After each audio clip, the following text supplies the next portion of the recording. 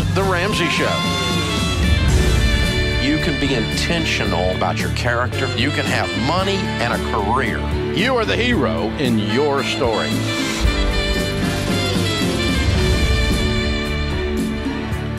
Live from the headquarters of Ramsey Solutions, broadcasting from the Dollar Car Rental Studios, it's The Ramsey Show, where debt is dumb, cash is king, and the paid off home mortgage has taken the place of the BMW as the status symbol of choice. I'm Dave Ramsey, your host. Christy Wright, Ramsey personality, number one best-selling author, is my co-host today as we take your questions about your life and your money. The Ramsey Show is a different kind of talk radio. This is all about you. It's service oriented Talk Radio. We're here to serve you. We take care of you. We answer your questions. Sometimes we bonk you on the head for your own good because we love you, but uh, it's all about you. The phone number is 888 825 5225. Christy's new book, Take Back Your Time The Guilt Free Guide to Life Balance, will be out in just a couple of weeks. It is still on pre sale, which is good news for you folks. Uh, on pre sale, you can get about $100 worth of extras added in. We bribe you to buy the book early uh, because it helps us with the bestseller list and it helps us with the pre-sale numbers, the whole bit. So you jump in and uh, it'll help Christy out. You will love this book if you're interested in the subject of balance. Um, and the illusion of balance and so forth. Christy will break all of that down for you in this wonderful new book. So be sure and check it out. Let's start off this hour with uh, Rochelle in Fayetteville, Arkansas. Hi, Rochelle. Welcome to the Ramsey Show. Hello, thank you for taking my call. Sure. What's up? Um, I have quit a job after 30 years, and I have a 401k plan in it. Mm-hmm. And I do not know what to do with that money. I have to take it out, and I'm not uh, in retiring age or anything like that. And I need to know what to do with it. Okay, good. How much you got in there? Eighty-five thousand. Oh, this is pretty important then. Mm-hmm. Yeah. Okay. Okay. So there's a, a couple of rules that I want everyone to learn about investing. Number one, you do not put money in things you do not understand. Just because I understand them or Christy understands them, that doesn't make it okay. You've got to understand it. And um, so once you do, and it's not that difficult, uh, it's not, not, not, not like you have to go get a degree in brain surgery or something. Okay, you'll be all right. But um, keep it simple. Uh, and and so the second rule is is that in order to understand it, the type of financial person you need in your life needs to have the heart of a teacher. Yeah, and one of the things that I think is important, Rochelle, is as you have someone walk through this with you, they will break it down. They will have the heart of a teacher, so they'll explain things step by step. You can ask lots of questions and they'll show you what to do next. I'm not an expert on investing. I have an investment professional that I sit down with. So when I left my job before I started working here at Ramsey Solutions 12 years ago, I sat down with an investment professional to talk about retirement, where it needs to go, and that type of thing. And that's what they're there for. And we have endorsed local providers that help you do that, that show you exactly what to do next. Yeah, our SmartVestor Pros. You just click on SmartVestor at Ramsey Solutions and you'll find someone in your area with the heart of a teacher. Now, here's what they're going to tell you to do, and let's walk through it a little bit, okay? Number one, what I okay. want you to do it's called an it's called a rollover. You're going to do a direct transfer rollover into an IRA. There'll be no taxes okay. if you do it the correct way. Okay? okay? Now, the incorrect way would be tell your HR department to send you the check. Uh-uh. They have to withhold 20%, so they're going to keep about 20,000 of the 85 back for taxes because they think you're withdrawing it and you're not withdrawing it. And the government makes okay. them hold 20% back. So you're going to get a check for like 65,000, but you have to put 85,000 into an IRA to avoid taxes and penalties. So now you're up a creek because you're 20 grand short. So you do not want them to cut the check to you. Does that make sense? Yes, sir. Okay. So the direct transfer rollover works like this. You sit down, you contact one of those SmartVestor pros, you sit down with them, you select the mutual funds that you want to put the money into, And we always suggest Mm-hmm. four types growth, growth and income, aggressive growth, and international. You'll learn about those and you'll hear those again when you sit down with a SmartVestor Pro. They don't work for us, but they do stuff the way we teach. And one of those things Okay. is they're going to do it with a teacher with you at the heart of a teacher. Now, when you sit down with them, you're going to pick out, say, four mutual funds and you're going to fill out the paperwork that says, direct transfer on it, and that paperwork's going to be sent to your HR department. They're going to then send the money directly into those mutual funds. There is nothing withheld on the money, so the whole eighty-five thousand will go over there where you tell it to go, and there'll be zero taxes on it. Now you've got an investment pro in your corner to teach you and talk to you and answer questions at any time. You are in control of the money where it's invested. You can change it later if you want to. Everything is uh, you know, ready to go and it's completely in your control. And again, it's fairly simple, but you just have to fill out the right paperwork and you got to have somebody help you lay it all out. Does that all make sense in general? Yes, sir, it does. Okay. So, where were you working? What kind of job did you have? Tyson's. Okay. All right. Why are you gone a after 30 years? plant. Uh, it did not work out to where I was transferred to at another plant because I moved, Oh, and it just it just not did not work out in that plant for okay. me. All right. Wow.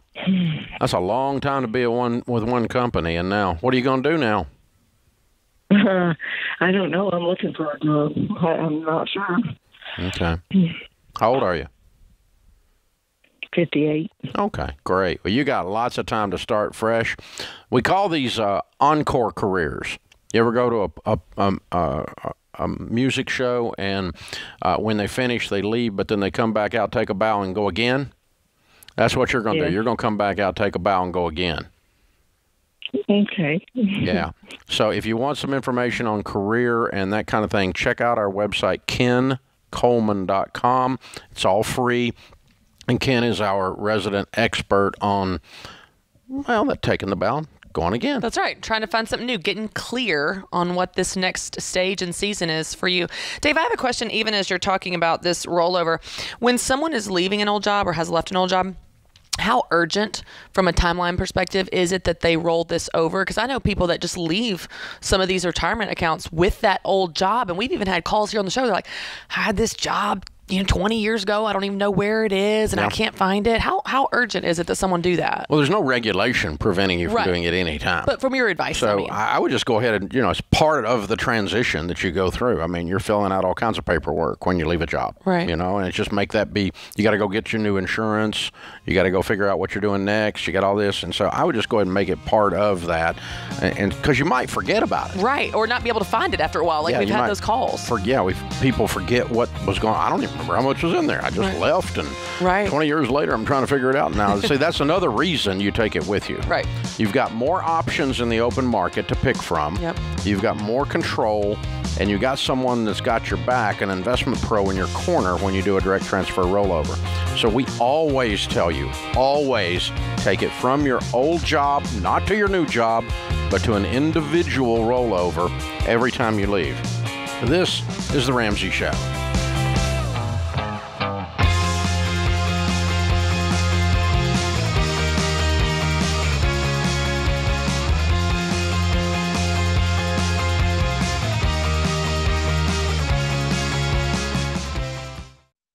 What makes our show unique is that we genuinely care about our listeners. We're intentional about choosing the best advertisers to recommend. Blinds.com is no exception. They offer high quality window treatments at unbelievable prices, and they make it simple to shop blinds, shades, and interior shutters with easy online ordering, free shipping, and a guaranteed perfect fit. Go to Blinds.com and take advantage of this week's special savings.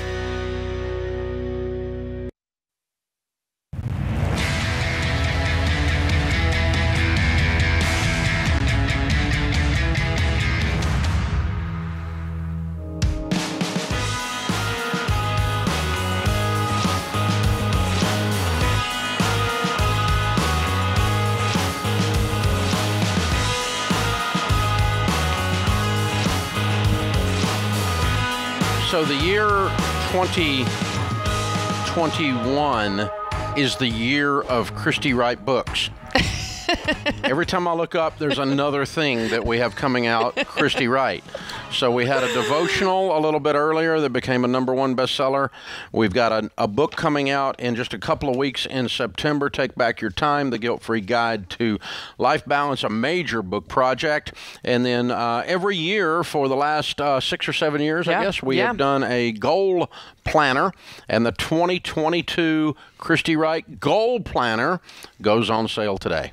Yes, and this is this is important for people to know because, and I'm sure you remember this last year, Dave. You got calls about it like I did, but we sold out early. It always does. And so, Mm-hmm. if you want your copy, get it now. Even though 2022 is a little bit away, go ahead and get your copy, and then you'll have it before we sell out. And uh, and one of the things you and I've talked about this with Dave, but um, about this with the planner, but it's not just a calendar. It has content, tools, templates that are going to help you stick with your goals, and I think Oh, that makes it more valuable. Full life manual going Yeah. on here. I like that, life it's, manual. It's, it's a it's, it's a beast. It's a big old thing. I mean, it's it's there's a lot. I mean, just the shipping cost. This thing's a, it's a it's a chunky monkey. Man, there's a lot. But I mean, yeah, you've got scripture in here. You've got stuff to do every day. Things I'm doing this week. It is so well laid out, so well done, and uh, our sales double almost every year. Yeah. Um, because the people, everybody buys it that bought it last year, plus all the new people, and so the, it, it is a um, it's a, a very successful product. Yeah. But uh, just you know,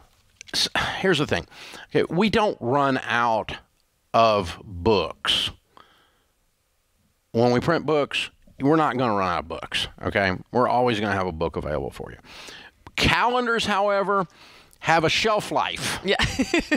Uh, in other words, this is not going to be much good by this time next year. And the likelihood of us being able to sell it this time next year is about zero. And so, from a business perspective, our goal is to have exactly the number that you people want. And we'll, we don't have to throw any in the dumpster, and everybody gets one. Now, you know what the likelihood of all that working out? Zero. Okay. so, in lieu of that, I'm not throwing them in the dumpster. That means I'm not over ordering, and I own this freaking place. So if you want one, they always run out. We plan for them to run out. We plan for the planner. to run out. So just, just just, to let you guys in on inside baseball here, this That's is how it works. All right. Our goal is to run out at the right time. And yeah, I we don't want to run out too soon, but just soon enough that some of you that put it off, you get punished a little bit. last year, last year though, I do think we set a record in terms of we sold out earlier than we ever had. We sold out. We, we actually snuck a speed reordering. We did, and still sold out of that even early. Yeah. People were, I mean, people would message me even in March. Can I get a planner? I'm like, no, No, it's no, March. It's gone. but now's your now's your time. We're telling you early.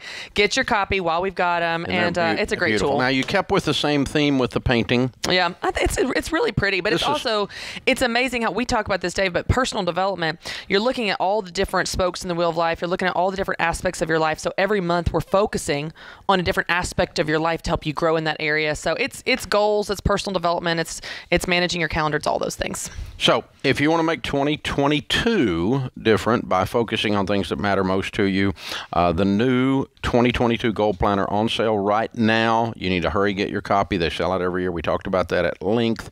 Uh, so prepare. Go to RamseySolutions.com. They're not up on Amazon yet. We'll get them up there in a couple days, but just order it from RamseySolutions.com from the web from our store, and we'll get them out to you. And they're in stock, right? Yeah, oh, yeah. Okay, so we'll go ahead and get it. Of course, doesn't do, you don't need it right. You don't have to have it till 2022. it doesn't have December in it, does it? No. Like 21. No, Okay, so it doesn't. It's no good till January 1. that's right. But uh, But, get it early hey, because it'll be gone. yeah, that way you don't have to think about it again. You don't have to kick yourself later for forgetting to order it. So, uh, RamseySolutions.com. Get them while the getting's good. Uh, yet another Christy Wright product out this year. Um, I've been busy, Dave. well, we can't, you know, if you're awake, you're writing. So that's a fact. it's just the way it works. We know about you. You're going to be writing. I'm going to be talking, and you're going to be writing. Uh, This is the way it works. Open phones here at 888-825-5225. Karen is in Tampa, Florida. Hi, Karen. How are you? Hi, Dave. Thank you so much for taking my call. Sure. What's up? Um, so, Dave, um, I am a recent widow. Um, I have two uh, adulting college age children, one who is 21, the other one is um, 23. uh, recently graduated and is starting the process to be financially independent. Good. Um, yes. Um, so, in the process of gathering everything together after my husband's um, death, one of the things I did was I did start to um, consolidate all our 401ks and investments. Um, I froze all of his credit and credit card accounts. Um, and I followed one of your videos um, that said, don't do much the very first two months. Um, so I'm kind of at that point where I need to start taking some action. So it's been two Um, months. And the first, um, not quite, not Mm-hmm. quite. It's been about six, uh, about six to seven weeks now. I'm so sorry. um, what happened? I thank you. Um, well, he is. He was a stage four colon cancer patient. He um, unfortunately uh, was diagnosed um, very very late and uh, fought a good fight, Hmm. um, but unfortunately lost. yeah. so, y'all were um, married what? 25 years? Um, no, um, that was very sweet of you. We We had a 23 year old, I was guessing. You know. Yeah, yeah. Um, we actually were married a, a little over 32 years. Okay. Um, Wow. So, um, yeah, yeah. So How it's- you doing? It's a new, um, hanging in there. Um, Some days. work has been hard. Uh, work, yeah. Some days have been others. Um, work has been great. Um, couldn't have done it without my work family and my church family. Mm. Um, Yeah. But my my my question is, um, we are um, one of our goals that uh, my husband and I spoke about was helping our kids um, into those adulting behaviors.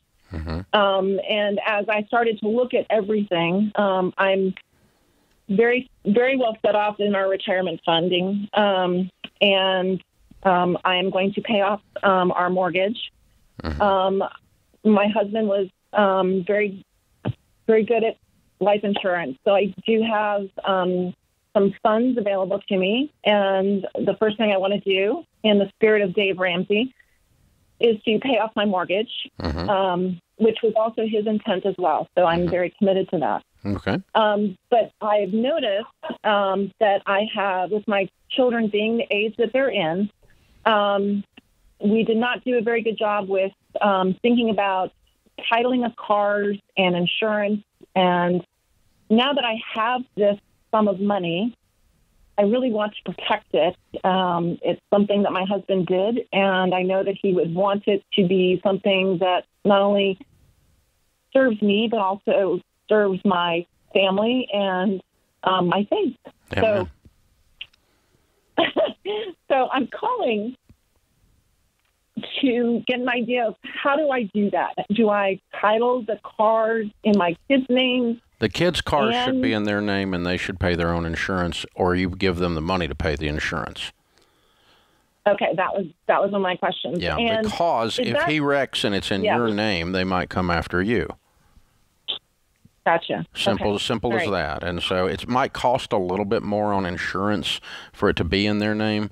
But when mine turned 18, I moved them into their name immediately, as a as a risk management thing. Had nothing to do with I don't like Correct. the kid. It it did cost me a little bit more in in insurance.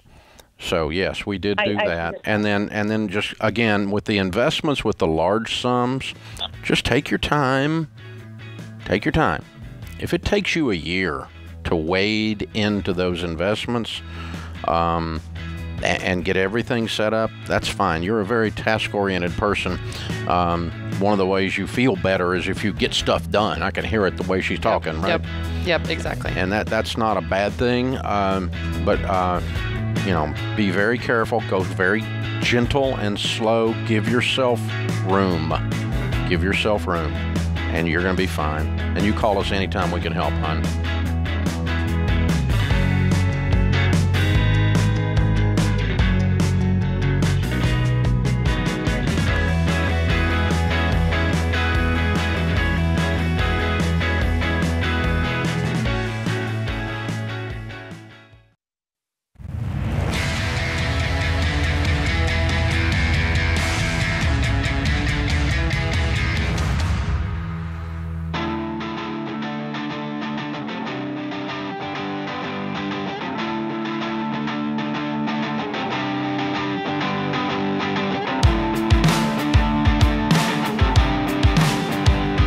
Christy Wright, Ramsey Personality, is my co host today. Open phones at 888 825 5225. One thing we are sure about personal finance is that it is 80% behavior, it's only 20% head knowledge.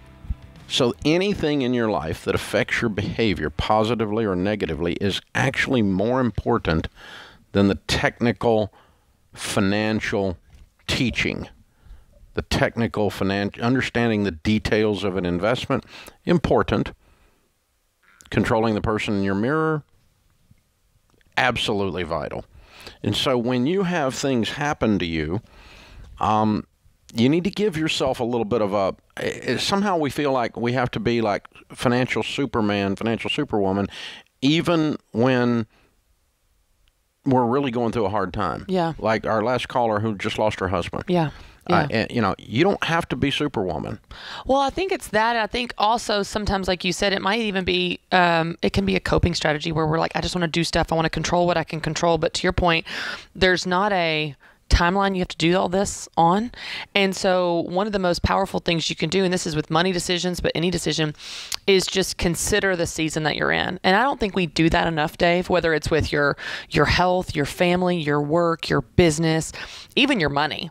When you consider the season that you're in, then you can set goals and make plans that are a reflection of what's going on in that season. So the season of mourning after losing your husband might not be the time to knock at all your all your checklist on your uh, you know going through all the paperwork stuff. It might be something you do more gradually over six to nine months than in those first um, few months. And so I think there's just there's something really powerful of stopping checking in with yourself, considering the season that you're in before you put all the pressure on yourself. Because sometimes we put pressure on ourselves and it's not the right time, the right season for that pressure or that goal. Well, and I think the reason we do is we we've lost this. We've got this disconnect, as if finance sits over here in its own little column of our life, this own little silo of our life, and everything else is over on the other side. And it's like, but and so no matter what's going over in in our the big swath of our life, somehow we're supposed to be okay with the money part Yeah. or we're supposed to, um, you know, uh, not do, uh, you know, not be susceptible to stress spending or, or grief spending or not be. Of course you are. Right. And people do some of the dumbest things when their personal life is messed up. Yeah. With money. Yeah. Or when their personal life is going like really, really good. Yeah. And they feel invincible. Like I got the Midas touch. Everything I touch turns to gold. And no, you don't. Yeah. Yeah.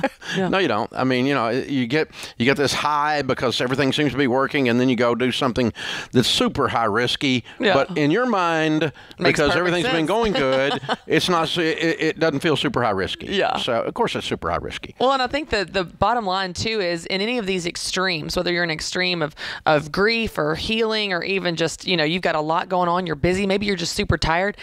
It's hard to think clearly in those times. It's hard to think clearly when you're mourning. It's hard to think clearly when you're exhausted and just trying to keep your head above water. And so I think that when you can get into a space where you can think clearly, then you're going to make better decisions. But if you're just reacting, you're just flying by the seat of your pants or, or trying to just um, control things to control them, you're not necessarily going to make the best decisions. You need to think clearly and get out of that in order to make better decisions. So uh, Delony talked about this, and John, Dr. John Delony, when we were going through COVID this time last year, and people were in freak out mode. Mm-hmm. That when your when your brain is in freak out mode, whether it's anger, fear, pain, grief, whatever, you're just overwhelmed with emotion. It shuts down your critical thinking skills Yeah. because you go into fight or flight Yes.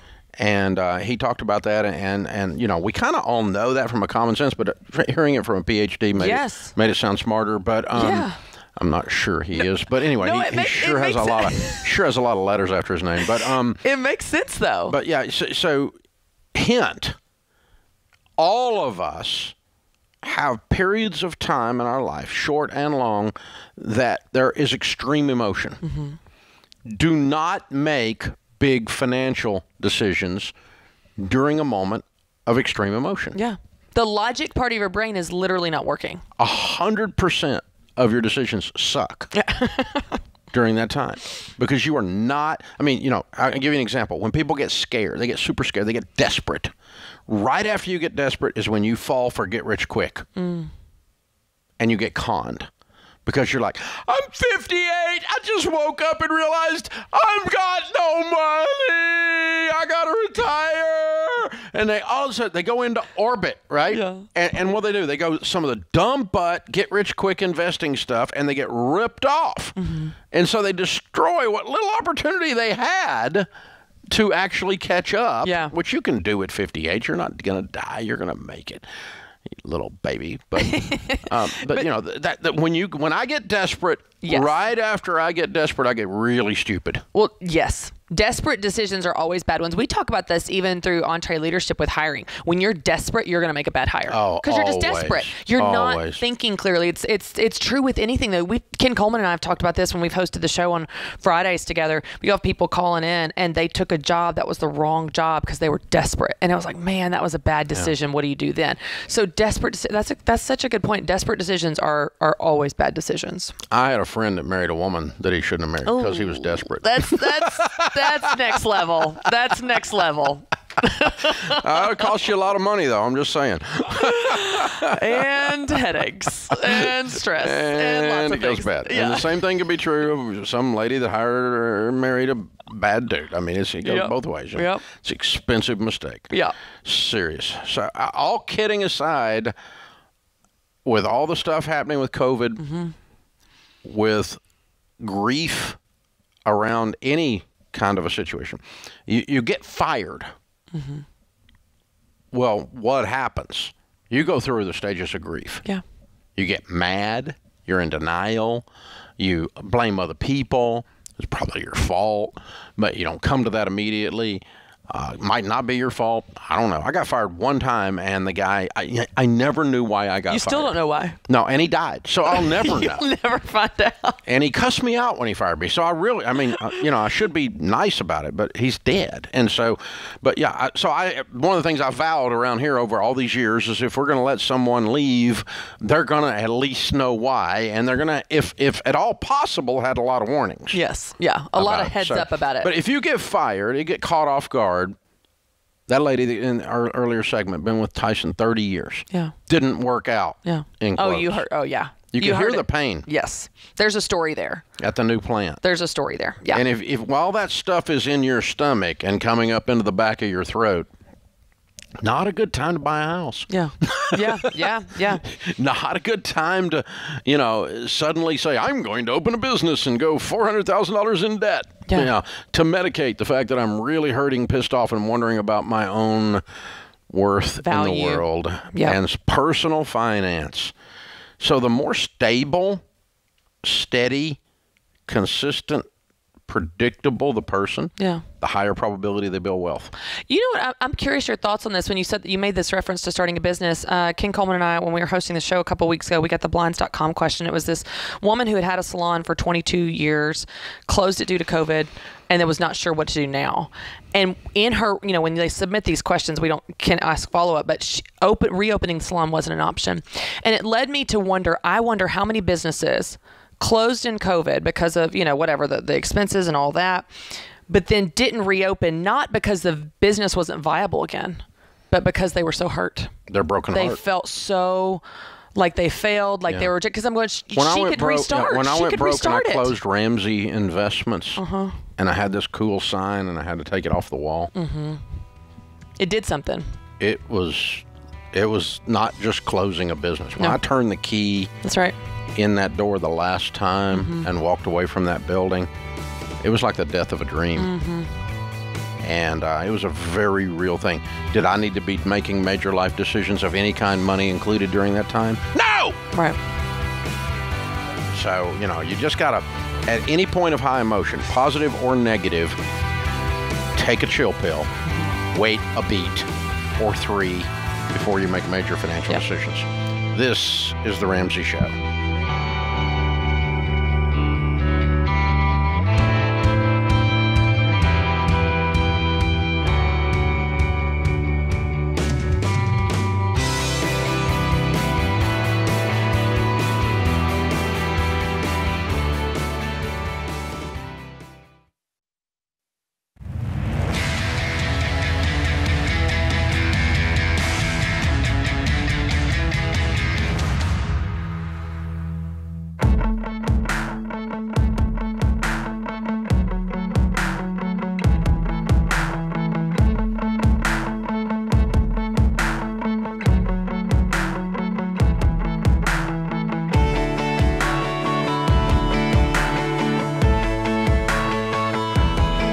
Christy Wright, Ramsey Personality, is my co host today. Open phones at 888 825 5225. John is with us in Tampa, Florida. Hey, John, how are you? I'm doing well, Dave. Thanks for taking my call. Sure. What's up? So, through a few life events, um, I was able to pay my house off sooner than what I expected, which left me with a, I guess, a surplus in my emergency fund. With that being said, should I adjust my emergency fund and invest? When I say adjust it, should I yeah, adjust it down? Because now obviously I don't need as much because I don't have any bills, everything's paid for, and invest the remainder of that. Well, do Yeah, you, you're, it should be three to six months of expenses. And what you're saying is, you with the house paid off, you got hardly any expenses, right? I have I literally have zero expenses. No, I mean, you have I food and lights and water and no- insurance and you. electrical yeah, and all just- that. Yeah. yeah, just the basics. Um, and then on the flip side, I also I drive a 20 year old car, and so I've also considered maybe purchasing a new car one day. Obviously, not Yeah. in this market, but in the near future. Yeah, get Um, you get you a better car, which also, by the way, will lower your need for an emergency fund Yes, because the transmission going out in that hoopty is more likely than in a decent car, right? correct. Yes. Yeah. John, So- have you run the numbers yet of what um, you know your old emergency fund was based on and what the new one is based on with these new you know lower expenses, so you know about what the surplus is? Um, just no, haven't sat down and ran the numbers, but I figured currently I have about fifty-five thousand in emergency fund. My wife and I do one thirty, so we were figuring probably twenty-five thousand would be Yeah. substantial. Okay. Yeah, that'd be fine. And then you, I'd earmark some of the rest of that for the car, and then invest the rest of it, or maybe have a have some fun with the rest of it. Whatever. You've done great. You're baby step seven, man. You're rocking it. Yeah. Are you a baby step All right. millionaire yet? Uh, yes, I am. Way to go. Way to go. That's awesome. Congratulations. Well done. How old are you? I am 51. My wife, my wife is 52. I'm 51. Good for you. Congratulations. That's amazing. Yeah. Thank you. I, I- so I, here's the thing: the uh, as we have built wealth, Sharon and I have noticed we have less emergencies because we own nicer things. you know, it's like the cars I used to drive were an emergency looking for a freaking place to happen. Okay. You they were an emergency. They yeah. were, and I was driving my emergency, you know. And, and then once you get decent vehicles and you've got a little margin, you literally have fewer emergencies. And so I don't even, I mean, the, the chances of us actually not cash flowing 90 something percent of our emergencies just out of checking is pretty low uh, these days. And so, uh, you know, it, because again, it, when you're broke, everything your life looks like a country song. Everything is an emergency, you know, and so it does change over time, and it, the it's kind of like oxymoronic. You know, they always say, well, you know, the banker will loan you money only when you don't need it, you know, and it's like, well, you only you, you know, by the time you don't need an emergency fund, Right. you know, Yeah. it, it's like it You does. It does. It, it seems like that you should not need the emergency fund in the early days. It'd be helpful, Right. You know, but no, you got to have it when you're starting baby steps one through. But when you're at seven and you're hitting millionaire status, you're making 130. Yeah. yeah, 25 is going to be plenty, dude. Because you got other money. And John, get that car. I hear it in your voice. You're a saver. I love that about you. That's what's gotten you to this point. Enjoy some of that money. It is sitting there, and your car's old. Yeah, well, he doesn't want to buy it because they're crazy right now. Is all. I know, But, but, yeah. I know, but that emergency that's waiting to happen, it's going to come out of that, or it's going to come out of your emergency Well. fund, whichever way you want to look at it. Make sure you get it for Christmas anyway. By the by the time Christmas I Christmas like gets that. here, I like that. go ahead and Good go goal. ahead and start planning your Christmas gift. Good goal. Amber's in Minneapolis. Hey, Amber, what's up? Hi, Dave. Hi, Christy. Hope Hi. your day's going well. sure. What's Hey, going on? How can we help? I am currently on baby step number two. And at the beginning of the year, I started a YouTube channel, which has now opened an opportunity to make some additional income to go towards my baby steps. My question is on my YouTube channel, I try on and review clothing, which requires me to purchase quite a few pieces from each brand. I generally return most of the samples like once I'm done filming. Um, but I'm currently funding this on a credit card that I only used for that, and I only pay the minimum balance, like the minimum due each month until I get the refund. At any given time, there could be up to four thousand on this card in rotation. is this an okay way to fund this and like chalk it up as a business expense, or should I be approaching it in a different way? Um, yes, yes, you should be approaching it in a different way. Having a credit card for business or personal is a bad plan because of the risk involved because it's a bad plan to cash flow your business. But I'll, credit card aside for a second and i'll let dave e- explain that even more but you should not be paying for these clothes. These ideally these brands should be giving you free clothes to review for That the you keep. exposure. That you keep for the exposure you should not be pl- paying to give them business. This doesn't make sense. So your whole business model needs to be fixed from the inside out, aside from how you're you're funding any expenses that you have, which should not be on a credit card. But I want you to go to these brands and get them to give you free clothes So- so- for giving them exposure. How much are you making on YouTube? So the actual YouTube portion of it, like I just hit the monetization and it's like very small. $18. About a yeah, like after a month of doing videos, this other platform reached out to me and they pay me $30 for each 30 second to 2 minute clip that talks about each product. What's So your it kind of viewership? My viewership, I'm just over a thousand, so still pretty new. Mm-hmm. But I've made in like the past ooh, six or seven months with this other platform, I've made over twelve thousand dollars.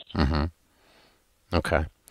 So the risk that you're taking from a business perspective, screwing around with four thousand dollars in order to make eighteen dollars or thirty dollars or up to twelve thousand over many many months, uh, is inordinate. Uh, I'm not sure you got enough eyeballs yet on the thing to get them to give you the free clothes the way Christy's trying to talk about. But basically, what you're doing is you're putting yourself in a position of being an influencer. And uh, the way influencers get paid is they monetize the eyeballs that come to watch them do whatever it is they do. And so um, that's what, you know, and obviously YouTube will pay you and other platforms will pay you as well if you can get the eyeballs. But a thousand's not a, not a bunch. You're getting there though. That's, I'm glad you're working this. Uh, so uh, what's your household income overall? Uh, So my normal nine to five, I make about eighty six thousand. Okay. I, I want you to set aside two grand for this business, maybe even out of the business income or three grand, and just prime the pump one time. By that, I mean open a separate checking account that is just for this clothing exchange process. Because if you get stuck, if one of these companies, let's say you bought a thousand bucks from somebody and they just said, oh, we're not taking that back, you wore it. Um, and so your little return refund program doesn't work anymore. You now ate that. And guess what? If it's on your credit card, you now have credit card debt. And so this is the risk that happens because there's one thing we're sure of in business. There's three things we're sure of in business. Um, it's going to cost twice as much as you think it's going to. It's going to take twice as long as you think it's going to, and you're not the exception. Those are the three rules of business. And it happens to me around here all the time. I have some great idea. I think this is going to work. And we put it out there, and six years later into the Goal Planner, Christy's Goal Planner, which we launched today, is a mega successful product. The first year, yeah, wasn't sure it's that great an idea. You know, a lot of You weren't. dadgum, well, a lot of dadgum work for not much money, you know? And so now it has turned out to be a thing, but it took twice as long It, um, as we thought. Especially and we're not the exception. especially initially. And uh, no matter how enthused or enthusiastic or um, angry I am or Christy is, it doesn't matter. You know, we still got to. You still got to. Some things have to cook up. They're like good gumbo. Yeah. You know, and so you, you. And in the meantime, you're carrying credit card debt. And I'm not going to ever advise that. You called the Dave. I mean, you called the Ramsey show. You called Dave Ramsey, Christy Wright asked us about a credit card. You knew you, you knew that wasn't going to work. I mean, that was that that is predictable. We're consistent. This is The Ramsey Show.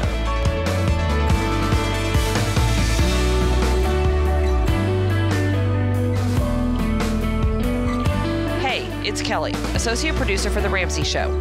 This episode is over, but if you heard about an event, product, or service and didn't have a chance to write it down, don't worry. We list everything you've heard about during this episode in the podcast show notes section or head to theramseyshow.com. Thanks for listening.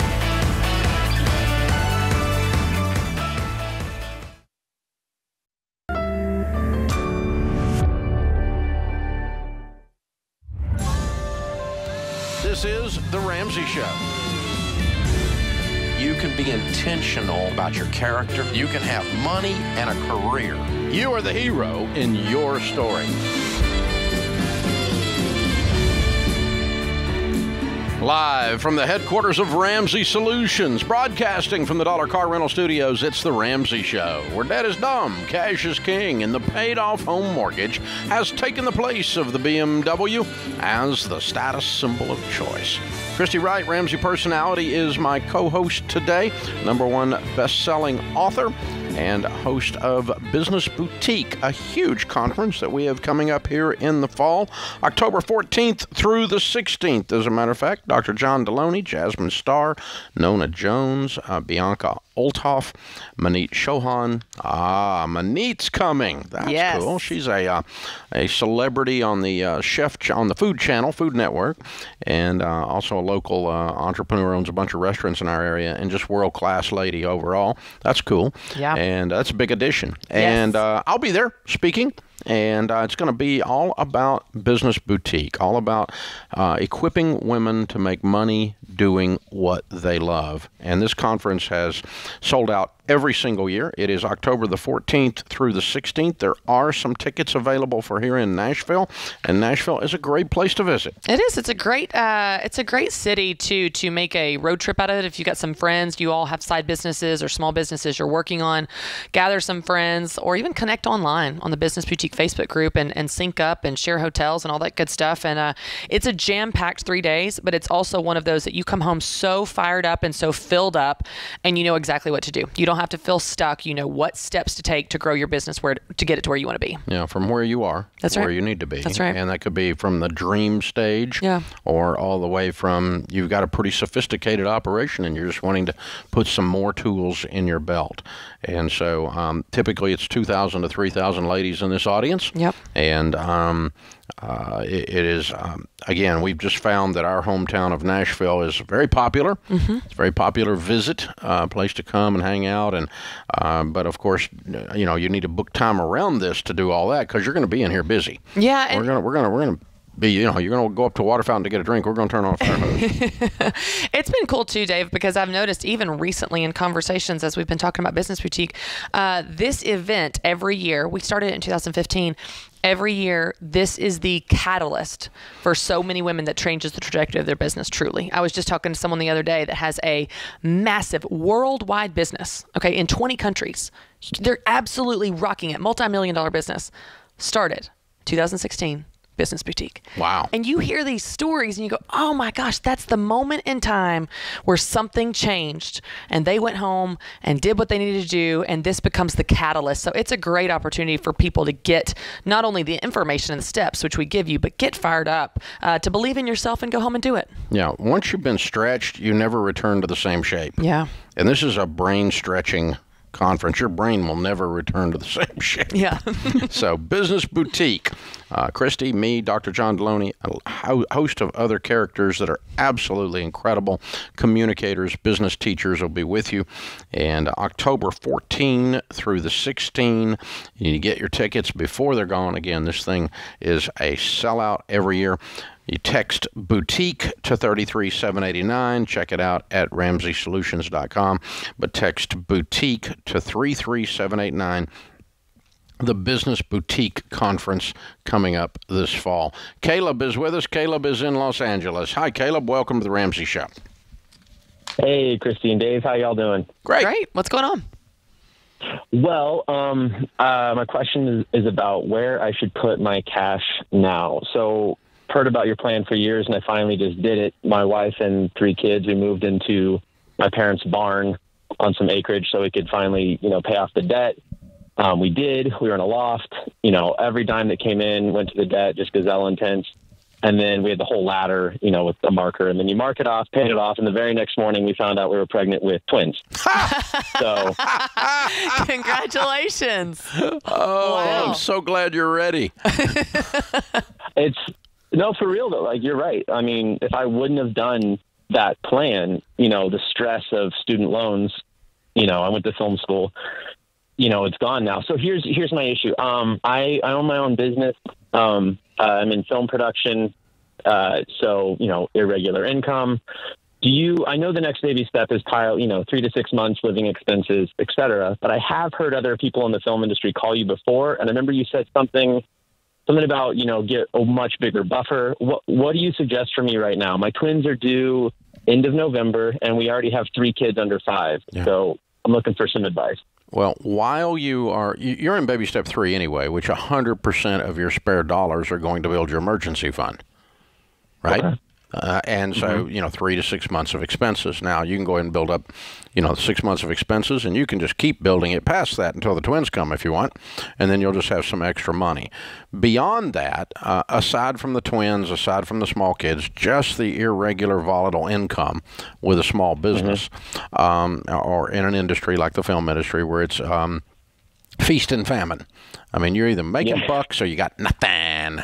And so um, Exactly. that, that we were in the real estate business when we came up with this idea because we had the same thing. We could have no money one month and twenty thousand bucks the next month. And so, um, Right. and, and so what we did, uh, it's a dumb name, but I couldn't think of anything else. You think of a mountain and a valley. And the mountain is that big mm-hmm. month, that wonderful month. The valley is that horrible month, the valley of death, right, where you have no money. And so we called it a hill and valley account. So if we were in a valley month, we didn't have to hit the emergency fund. We had a separate savings account to fill in for a horrible month of income in a volatile income situation.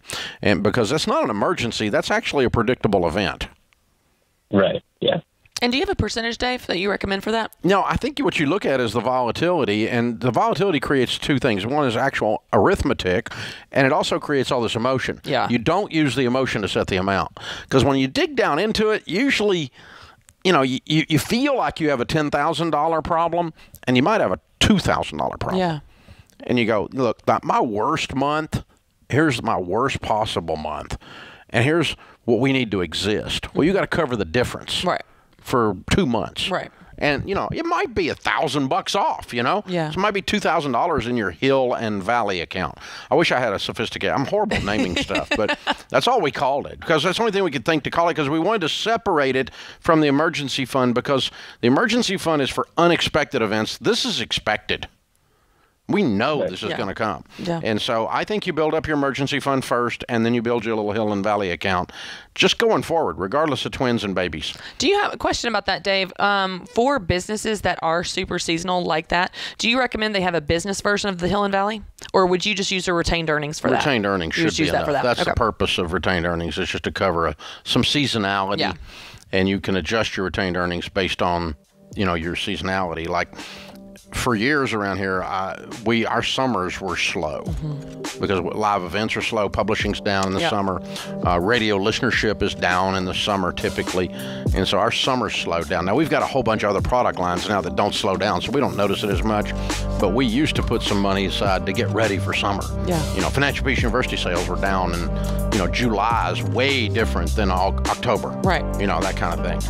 So we just had to kind of get ready for that. Thank you.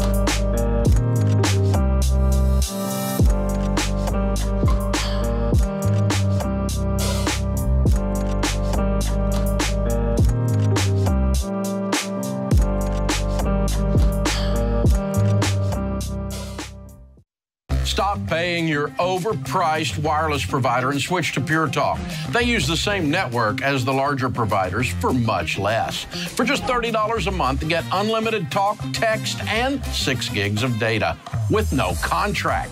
The average family saves over $70 a month by switching to Pure Talk. Just go to puretalk.com and enter the promo code RAMSEY to save 50% off your first month. Pure Talk, simply smarter wireless.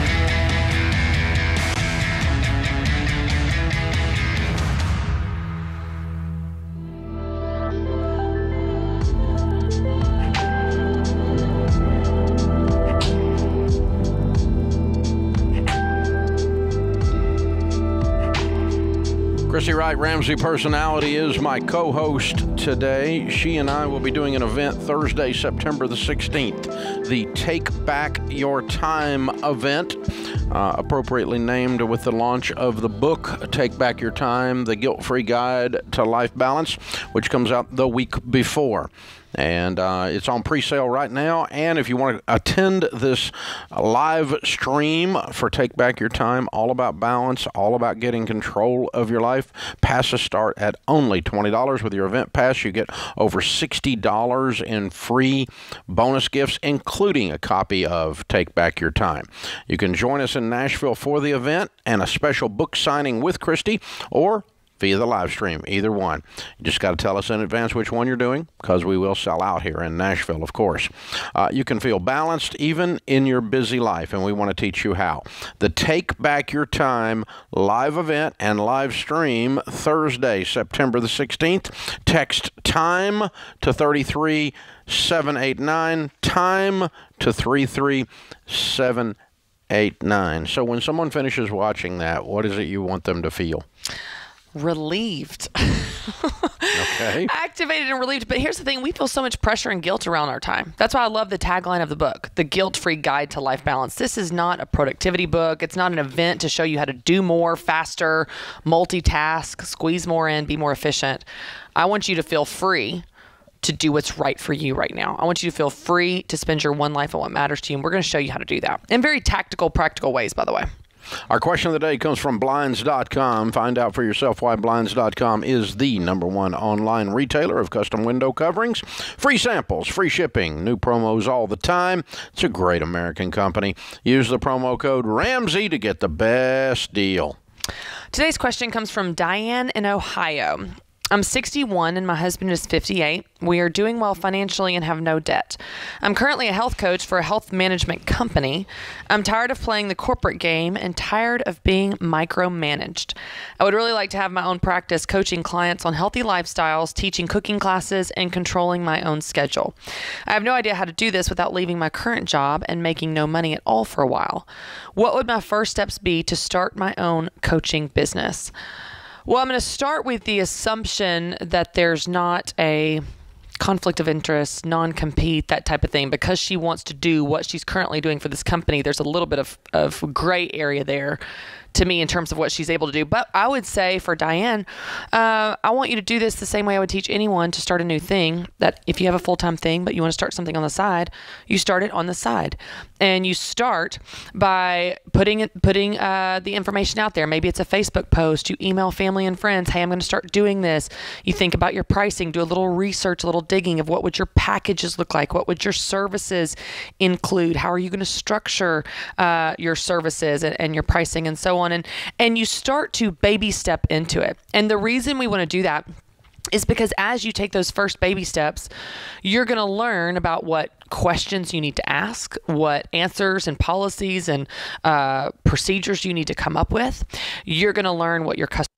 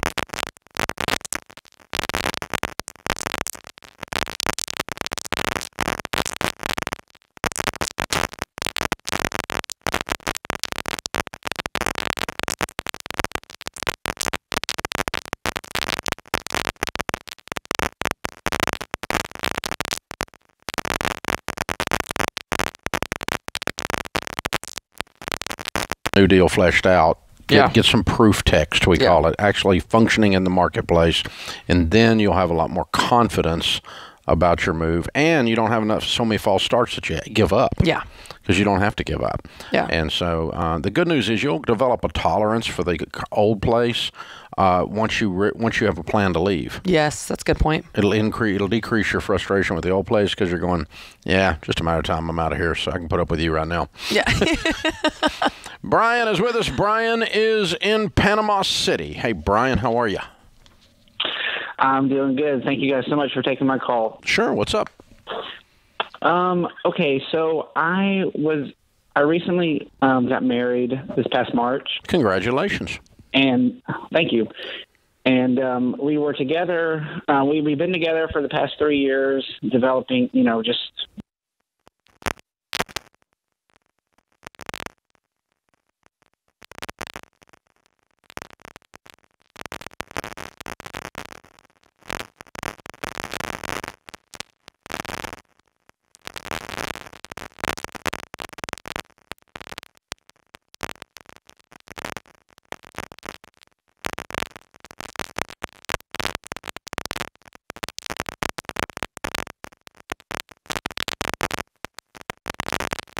Direct portal to hell.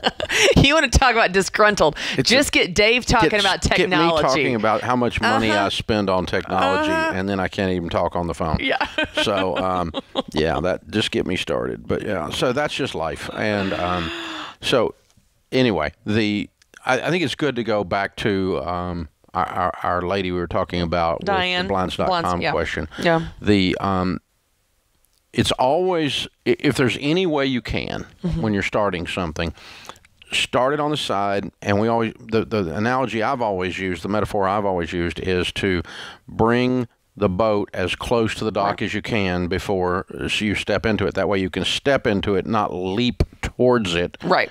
and hope you make it. When people always ask the question that way, they say, "How do I make the leap to Yeah. full time?" I, I I work with women every day building side businesses, and that's the way they ask this question: How do I make the leap to full time? And, and and Dave, you and I say this all the time. We don't want you to make leaps. We want you to take steps. When you do that, you will not fall as far. It will not hurt as much. We want steps, not leaps.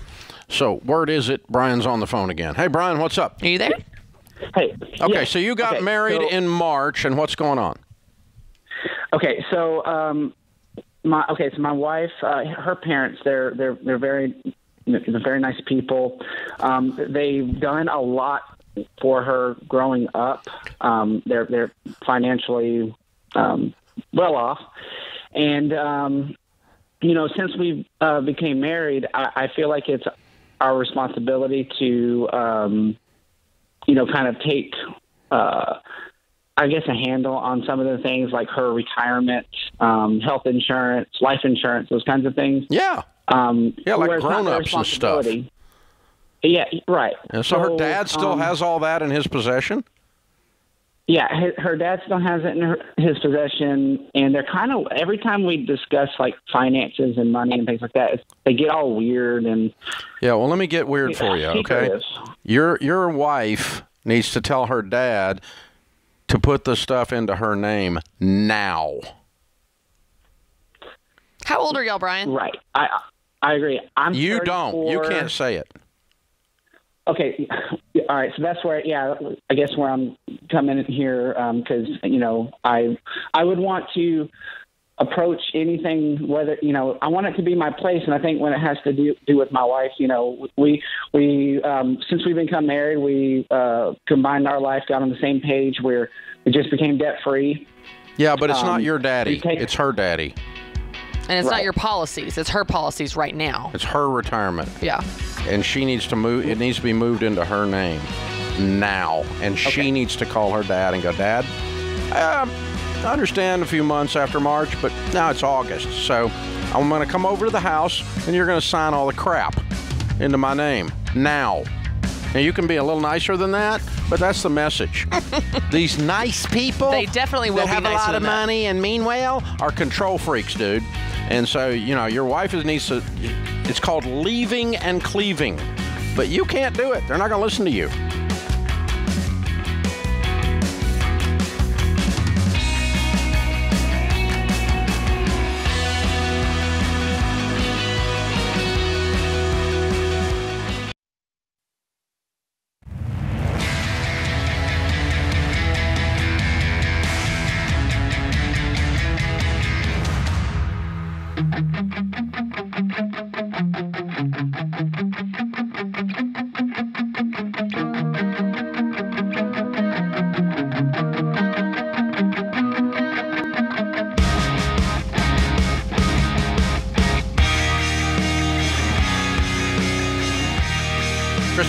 Ramsey Personality, my co host today. The 2022 Goal Planner on sale this week at RamseySolutions.com. Very, very popular goal planning, life planning uh, item by Christy. This is the sixth or seventh year we've done these things, and they always sell out. And uh, so be sure and check out online at RamseySolutions.com. Christy, I'm going to play Papa Dave for a minute. I want to go back to our last caller. Okay. Had a commercial bearing down on us. Yep. All right, I'm 61. I have three grown married children, all have kids. Not 61 yet. I'll be 61 in a couple weeks, but close enough. Um, when your children get married, you do not have the moral, ethical right to hold on to their stuff. Period. When they reach adulthood, you do not have the moral, ethical right to hold on to their stuff. And so, example in our house would be uh, Denise comes home from college and she sets up her own household within three months, uh, moves into an apartment with some roommates. Uh, eventually starts dating a guy, gets married. Um, but when they're engaged, uh, I look down and realize there's a file here with mutual funds with her name on it. There's the health insurance is still running through us, which is stupid. This is like a grown woman. Right. And she needs to pay her own light bill. She needs to check the date on her milk carton by herself. Uh, and her mama don't need to do it. Yeah. And her dad doesn't need to hold her hand because he looks at her husband as a little boy. Yeah. Sorry, folk, you don't have that option. And when you do continue your helicopter parenting into their 20s, you damage the relationship with them potentially for the rest of your lives and you stunt their emotional growth because they're still freaking little baby children because you didn't give them any grown up stuff to do. Yeah. God, that pisses me off. Set them free. The Bible says to leave and cleave. So you leave your mama and take your stuff with you. You know what I heard in that call too, though. I wish so bad she had called because I heard in his voice he didn't want to talk to him. He wasn't supposed to anyway. But even if he was, he no, didn't he want was to. he was bowed up. He was ready to talk to him. yeah, but it was like this nervousness. Like you could hear something like, "Well, I don't know." They're And not, he started out with they were nice people, and I started laughing because I knew he was lying. we both, well, we both did because we are like, "But we were waiting yeah, for the but." where's the but? Because the nice. great canceler in a sentence. Everything that comes before the word but means that those people are butts. So then, but I wish we could have talked to her because I got the sense that she was not the type that wanted to talk to them, no, didn't want no, to talk she, to them. she's been used to daddy taking care I of her. know. And here's the thing. So then speak Grow to that up, girl. Speak to that person. Speak to the the timid, the child, the adult child that's scared to talk to their parents. Give them some some help here. It is your job as a 20 what was she he say he was 24 so Yeah, I uh, think so. yeah she's 23 25 probably give or take i mean it, be a grown up come on put your big girl pants on Hmm. and uh, because the sooner you do that the the the most one of the most rich times of our lives uh, in our per- personal family is the current time where I have adult to adult relationships with my children, including my sons in law and my daughter in law. And um, I thoroughly enjoy them as adults. But I, that means that I have to. I, you know, Rachel and I have. Uh, I don't cross boundaries with her, just like I don't with you. And you're, you know, you're. We're not kin. Right. We've been friends a long time. We've been on our team a long time. We've got a good relationship. But I, I there's things I can't tell you to do. It's not my right. Yeah. And vice versa, by the way. You know, and so, you know, and, and the same thing's true with Rachel. True. Uh, and, and so. You know, I, I, we can we can talk about stuff. We can argue about things. We can discuss politics. We can talk about life or religion or doctrine or whatever else. But that's just on a friend to friend level, so to speak. Yeah. And it's the most rich time. It's, it's some of our Ramsey dinners because we're all loud and gregarious and fun people are hilarious now. But it's like a group of it's like a friend group having dinner, Right. not you know Dad is holding court, and you all are going to now listen to me. Right. They quit doing that a while back. I'll just tell you. What do you think? What do you think's going on in the dad in that scenario that wants to hold on to it? Want- does he still see him as a as a kid? Yeah, he's- he- he's- he likes the power control. That's maybe who I'm both. talking to is him because? Mm. just he pisses me off because he's he's he's being a twerp. Mm. He's trying to hold on to the past, and you know you walked her down the aisle, you placed her hand in his hand, dude. You just gave her away. That's what they call that. All right. What if she's not married? Well, She's 25 though. Well, same thing, Same. except there's not a hand. There's not Right, a right. leaving and cleaving. Well, I it's just not wanna a- clarify. Not Yeah, a yeah. marital relationship, but they're still adults, and so you- what you're doing is you're tr- you're, you're treating your 25 year old like she's 13, and guess what? She's going to function like she's 13, and then the rest of us in society have to put up with this entitled little twit. Don't you think?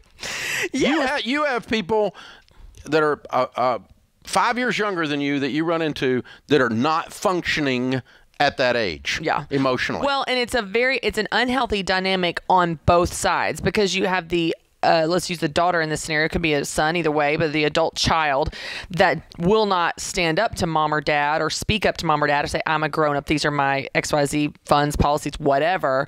And then you have the dad or the mom, whoever, that is dominant, controlling. They like having the power. They like being the big, you know, big deal in the family. And so they, the, it's, it becomes this dynamic that's unhealthy in, on both sides. They both have a responsibility in it, is what I'm saying. it is emotionally hard, admittedly, Mm-hmm. to, when your kids reach the point that you're no longer allowed to tell them what to do. Yeah.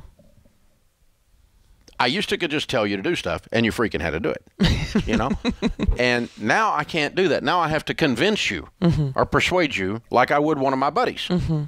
I've got to talk you into this is good for you. Here's why I think this, and depending on how strong I feel about it, you know. Yeah. But I may not even bring it up at all. But th- this is just reasonable relationship boundaries, and, and so, but but it, some parents can they have a real problem with this boundary uh, of uh, adm- saying out loud, okay, this is like a grown butt human here. I can no longer tell them what to do, Yeah. Or I shouldn't be telling them what to do. It shouldn't be effective. Someone should stop you from doing it, whether it's the person you're doing it to, your yourself, your pastor ought to look at you and go, hello. You know, something, somebody ought to give you a little wake up call, you know, ring the bell for you and go, uh, you have now moved into a new phase. You no longer can boss them around. And uh, because the interfering mother in law, when the kid's 32 and she still rolls her eyes with the way the chicken pot pie is made, oh my God, that's a classic stereotype. Yeah. And it's like, you don't get to roll your eyes anymore. Yeah. You, you like have to be polite and stuff. Right. You know? Oh my God. You wouldn't do that at your friend's house. Right. Or if you would, you wouldn't have any friends. Yeah. And yet you still think you can get away with it with those that you love the most and they're the closest to you. Yeah. And so, and it does go into the financial because the more, when you don't put the weight of the decision making on the grown child, they do not develop the strength to make the decisions. You have to let them feel the weight of that rent on their back. And I imagine The it- weight of the grocery shopping, and you go, "Oh my God! Look what bread just did." Yeah, I imagine it has an effect on the marriage too. For those that are married, then it's it's it's stripping them of some of the dignity of figuring it out as a couple, of communicating as a couple, because mom and dad are still controlling everything, still having a say, still carrying the Yeah. weight. It's like no, like like as a as a Well, you have couple. a, you have a fight, and you run to your mom. yeah, yeah. Oh my God! Yeah, yeah. I told Rachel and Denise in particular, I said, when you have a fight, and if you want to call over here and talk to us about it, you better bring them. Because otherwise, I'm going to point you right back at him and go, hey, I already told him you're now his problem. You you did say that. I did exactly say you that. You know I said that. I do. This is The Ramsey Show.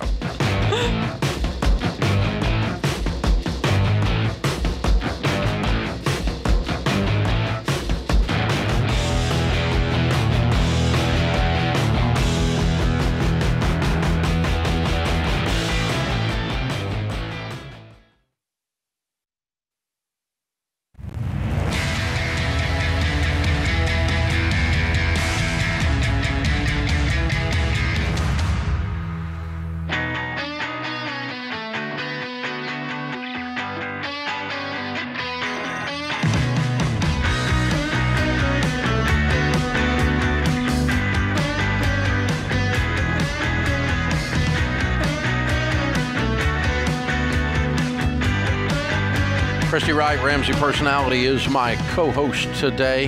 Tyler is in Colorado Springs. Hi, Tyler. Welcome to the Ramsey Show. Hey, how's it going today, Dave? Better than I deserve. What's up? Uh, I'm kind of in a funny transitional state in my life. I'm getting ready to transition out of the military, and I'm looking at living options once I get out. I'm going to go to college on the GI Bill. And I've been really struggling with whether or not I should rent or try to buy a home. But in doing some research, uh, it doesn't seem like there's any way that I can get pre-approved for a home loan. And I understand that you hate VA loans. Can you can you clarify as to kind of why you you hate VA loans so much, and also what your best advice is to me? Hate might be a strong term, but um, but number one, the VA loans are more expensive with fees and interest rate than any of the big three, FHA, VA, or conventional. Number okay. two, VA loans. The reason most people gravitate towards a VA loan is you can get a, as you know, you can get a house with nothing down. Yeah, and that's, that's which means you're too dead gum broke to buy a house. Okay. When yeah, you buy a house with no money, a house is not a blessing. Okay. And and so because okay, so, because you know the air conditioner is going to go out next week.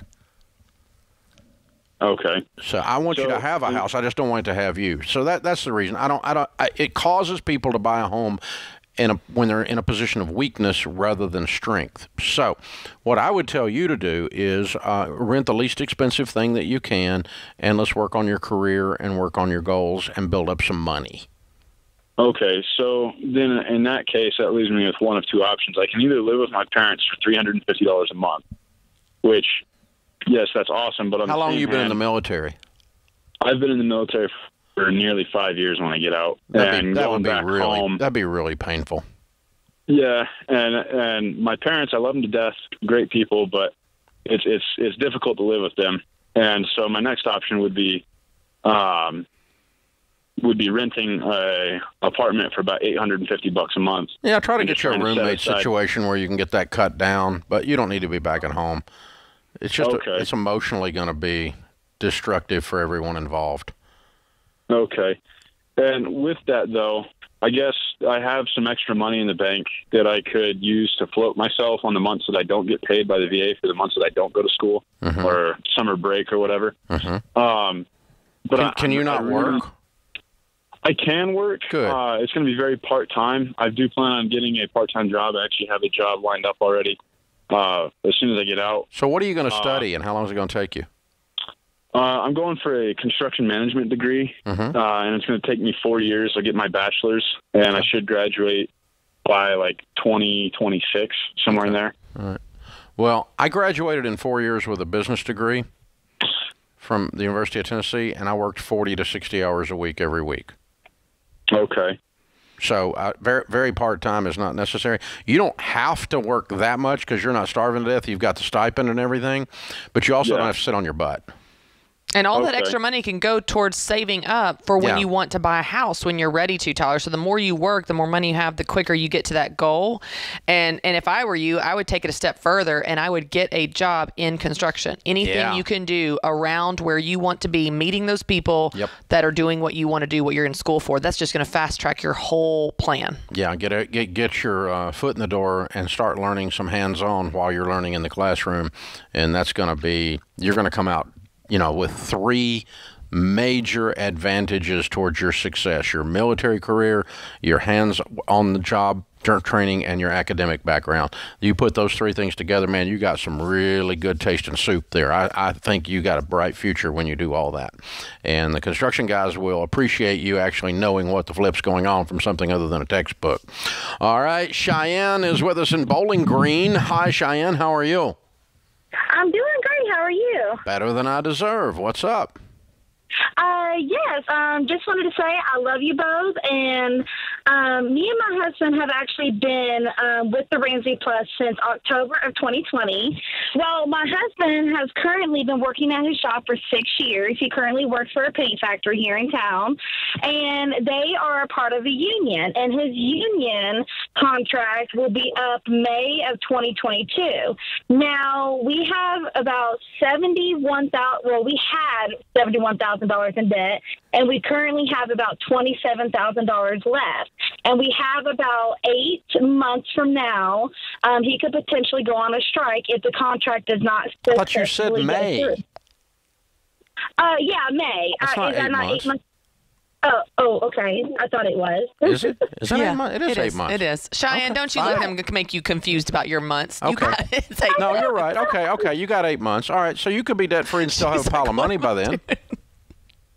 I, well, that's what I was asking. Um, I was a little nervous because my husband's slow season is actually coming up this fall. Uh, typically, every single year he's been working there, the slow season starts in September, and um, in between September and potentially February, it's very slow, and the amount of hours and the amount of money that we're used to him getting most of the year is possibly going to dwindle down. And I'm a little bit scared to either go ahead and pay off the rest of the debt that we have or um, just pile up cash for a potential strike because I don't think that he would possibly get paid for the union strike. It used to be about $200 a week that he would What's get your uh, paid. What's your current household income?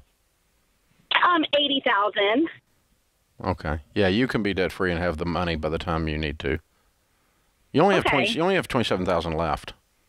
Yes. Yeah. And current, currently, Now, uh, well, we slow season means his hours go down to how many? Um, instead of him getting um, about 70 hours a week, it'll probably bump down to 40, 50 hours a week, maybe. Wow. So he works seventy hours a week a lot of the year. Yes, and um, most of that is volunteer. Um, they've had a lot of people quit. Uh, you obviously know with the pandemic, a lot of people don't want to keep their jobs. That is definitely his case. Um, when the whole pandemic started, they were actually the busiest they've ever been in their entire life. And so um, a lot of people have been quitting lately, and so that is keeping his overtime available. That's cool. But they've been so they've been slowly hiring people, and I'm just nervous because I'm Yeah. a, I'm the person in the So family how many times? works- How many times has has his union gone on strike since he worked there? Um, since he worked there, it has not gone on strike. Which is how Um, long? near- uh, he's been working there for six years, and the last time, the longest it went, I think, was a month or a month and a half. You, you, yeah, you're worrying about something you don't need to worry about.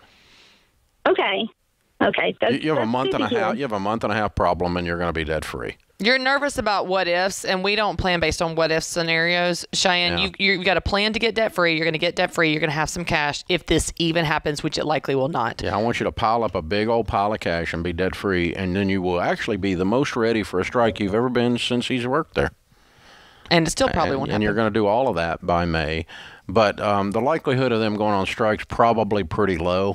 Um, they're just rattling their sabers uh, and um, you know carrying on because to, to posture for the negotiations and so forth. Because what's happening is most factory situations are behind, and the last thing they want to do is get further behind. Uh, supply chain has been so screwed up by COVID and the whole, you know, production means of production, manufacturing, everything's been so screwed up.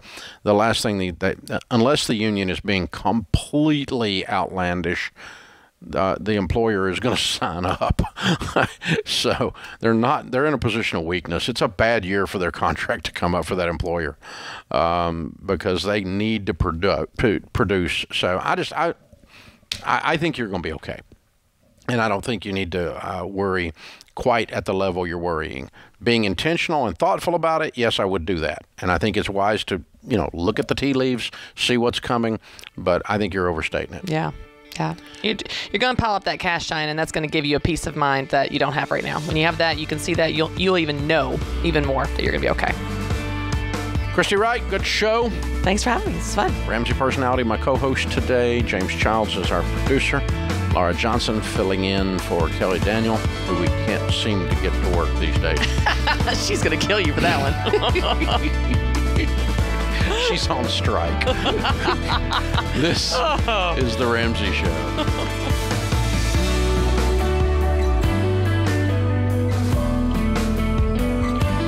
Have a friend or family member that needs a daily dose of Ramsey advice in their life? Let them know about the Ramsey Call of the Day podcast. It's a quick hit of advice about life and money in under 10 minutes. Check out the Ramsey Call of the Day podcast wherever you listen to podcasts.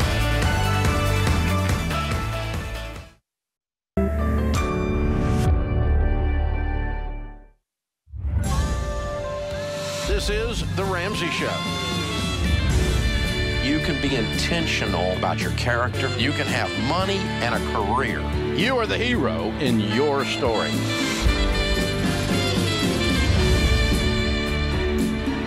Live from the headquarters of Ramsey Solutions, broadcasting from the Dollar Car Rental Studios, it's The Ramsey Show, where debt is dumb, cash is king, and the paid off home mortgage is a big indicator you might be a baby steps millionaire.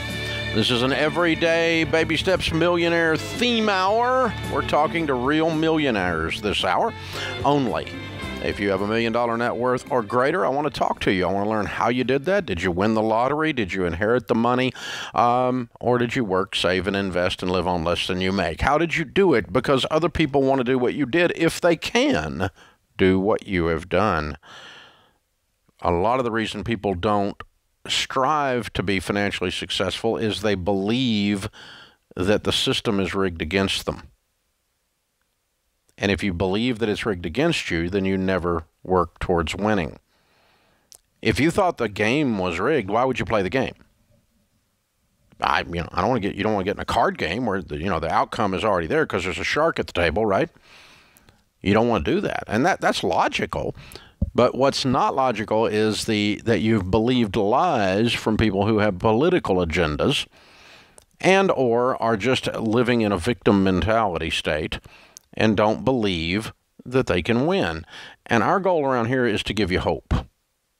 And people that steal your hope or ideas that steal your hope falsely, um, then you know, I, I, it's my job, our job at Ramsey, to go to battle with those things.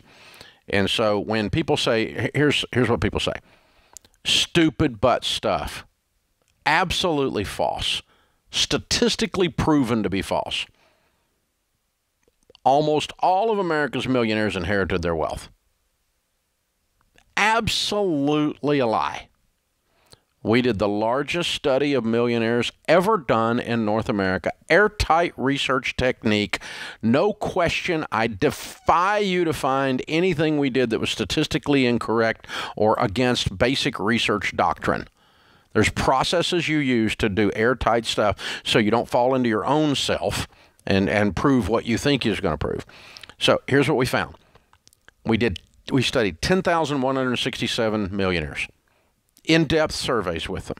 Everything we could learn about them so that we could show you whether you can do this or not.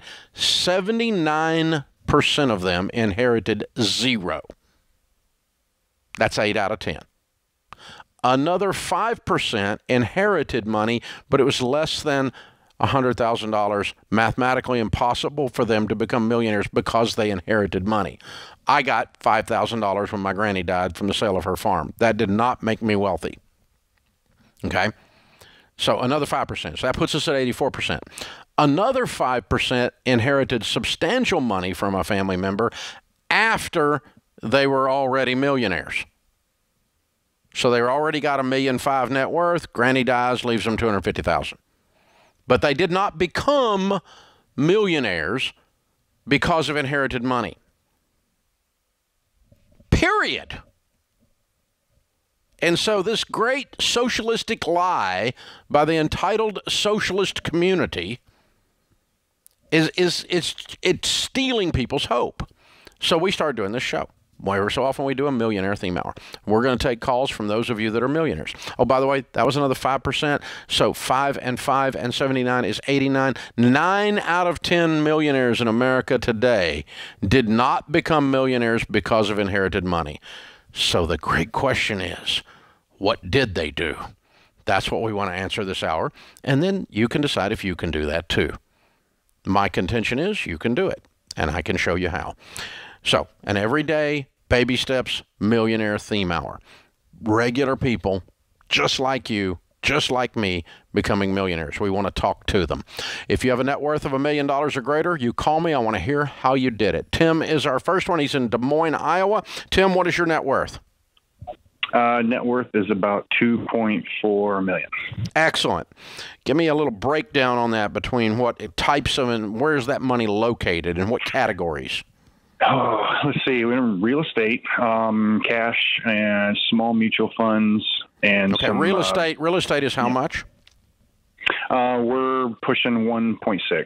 Okay, a lot of real estate. Good. Okay, how much in mutual funds? Um, I'd say about mm, most of the rest of that. There's a little bit of cash in there too. Okay, so that so like is that retirement accounts then? Yes. So about 800k in retirement accounts. Yes. Gotcha. Okay. How old are you? Uh, we're 43. All right. How much of this did you inherit? Uh, well, I like to consider the fact that we invested it from the BST program. It's a I call it the blood, sweat, and tears program. so none.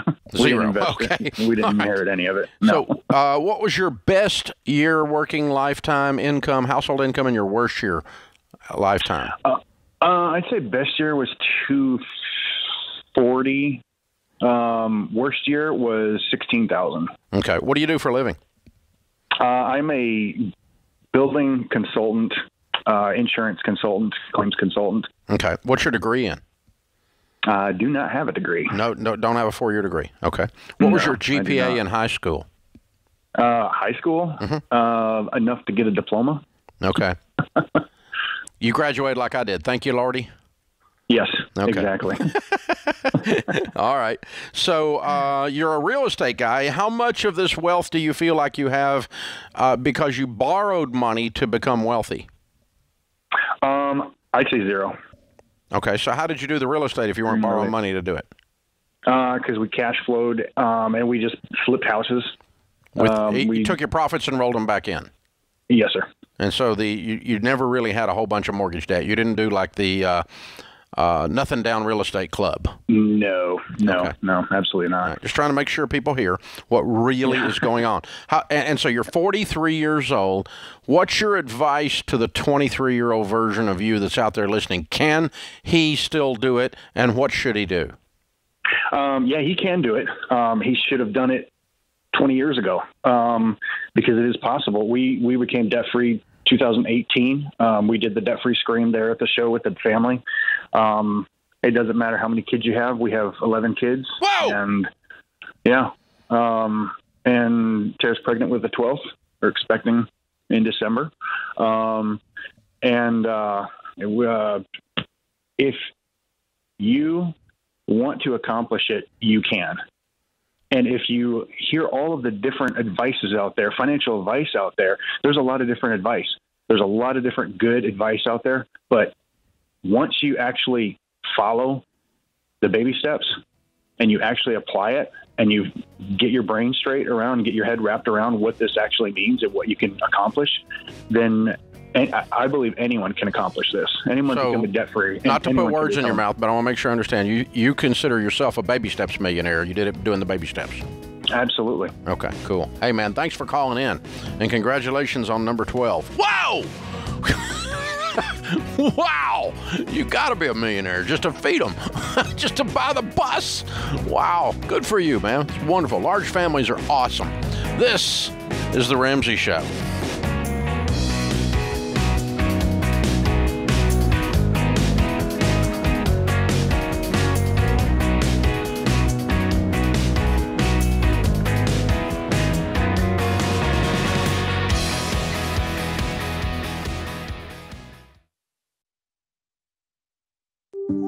Is full of firsts.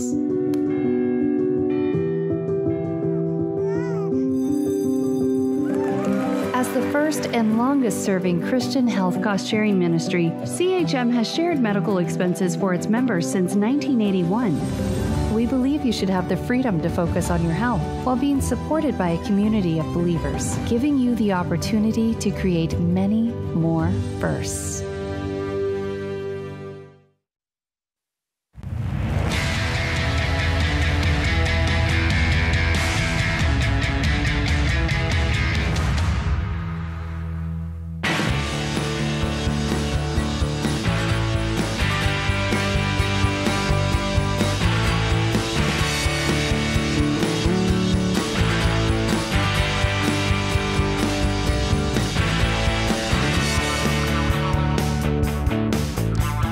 Struggling with money, it's easy to tell yourself that you'll deal with it later. I'll start fresh next year, but then later rolls around, you're still out of control. You have to decide. I'm sick and tired of being sick and tired. I've had it. This is the last month I'm going to do this. When you decide that, we're ready to help. This month, we're knocking $30 off a 12 month membership to our most impactful, life changing class and money products and tools. It's all included in a Ramsey Plus membership. When you do Ramsey Plus, you get access to Financial Peace University, which millions of people have gone through this class learning how to not only get out of debt, but to become baby steps millionaires, like we're talking about this hour. You get the premium version of our budgeting tool, EveryDollar, and you deserve a life uh, free of monthly payments and constant money stress. Start your free trial of Ramsey Plus today by texting trial to 33 789. Text trial for a free trial to Ramsey Plus to 33789. It is a millionaire theme hour. We are talking to people with a $1 million net worth or greater. A net worth is calculated what you own minus what you owe, your assets minus your liabilities. It's not a feeling. It's not an income. Well, a million dollars isn't enough. It's not a point. All people who have a million dollars are evil. This is not a moral construct. It's an arithmetic formula. That's the deal. Do you simply have what you own minus what you owe equals $1 million or greater? If so, you're a millionaire and I want to talk to you. Maybe it's worth $10 million. I don't care. But I want to talk to you because you actually have done it, and people out there need to hear what real people sound like, not people on talking heads on stupid butt news channels. They need to talk to real human beings, and you're who it is. So if you have a million dollar net worth or greater, call me right now. The phone number is 888 825 5225. Greg is in Des Moines, Iowa. Hi, Greg. Welcome to the Ramsey Show. Thanks for taking my call, Dave. Sure. What's up? I was uh, letting you know I was a, I'm a millionaire. Good for you. How much? So, well, what is you. your net worth? One million. One million dollars. Perfect. Yes, sir. And uh, give me a little breakdown on that between the different classes. What's how much is in retirement, mutual funds? How much is in real estate, so on? Roughly four fifty in retirement. Mm-hmm. 450 in uh, real estate, including a few rental houses, mm-hmm. and about 100 cash. Okay, good for you. How old are you? 38. How much of this $1 million did you inherit at 38 years old? You know, we got a few bucks when my mom died, but that uh, blew it. Uh, I think it was uh, a couple thousand dollars is all. Oh, okay. and it wasn't. It had nothing to do with with any of this. Okay, so you're not a millionaire because of an inheritance. That's the point. Okay, so uh, very cool. What do you do for a living? I teach. You're a teacher. What do you teach? I am um, healthcare. You teach healthcare. Yeah. In what what in what setting? Community college setting. Okay, good for you. All right. Thank you. So, what your best year of household income and your worst year of household income? Combined, probably two hundred best, and worst is probably thirty thousand coming out of college. Okay. What's your wife do for a living? She also teaches healthcare. Okay. Ah, very interesting. All right, cool. You know, the number three uh, uh, profession that we found was teacher as we in our millionaire study. Uh, doctors didn't make the top five.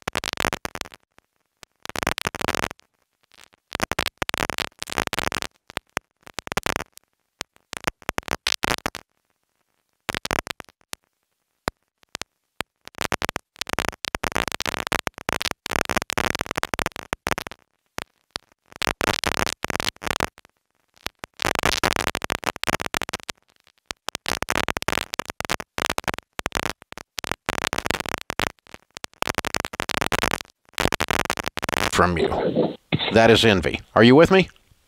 Yeah, I'm here. Okay, so they got the phones going. So I, I was filling till we could get back to you. So okay, I'm guessing your degree is in healthcare. It is. Okay, and what was your GPA? Uh, 375, I think, for uh, my master's degree. Oh wow, good for you. Okay, cool. So, what's your advice to someone who wants to have a million dollars by the time they're 38? Congratulations, hero. Well, thank you.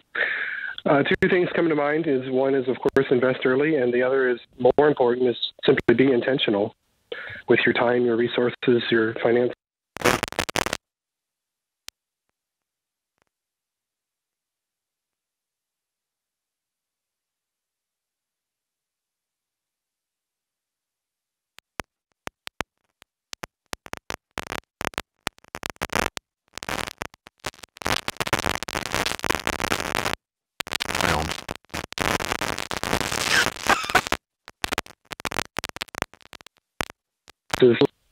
Are you back with me again? Coming in and out. I am. Okay, sorry about that, Greg. I apologize.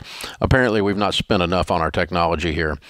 Um, we got a deal on it, though. I'll just tell you. Um, the there we go. so, what's like your what's your advice to the younger version of you? You did this very early. Start early and be intentional. You know, do things on purpose. That's, that's pretty much it.